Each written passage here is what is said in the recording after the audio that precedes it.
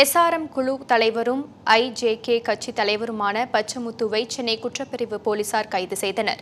சமீபத்தில் மாயமான வேந்தர் மூவிஸ் மதனை கண்டுபிடித்து தருமாறு ஆட்கொணர்வு மனுவை அவரது தாயார் சென்னை உயர்நீதிமன்றத்தில் மனு தாக்கல் செய்தார்.